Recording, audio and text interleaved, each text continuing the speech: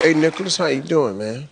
I'm doing great. How are you? You you don't know what it feels like to be a grown man to be talking to a child and and you don't know how to talk to him because oh you Uh, scared he might say something with a big word in it, you don't know what it is. can I do it right now? Yeah, go ahead, let me try it. Let Okay, exacerbate.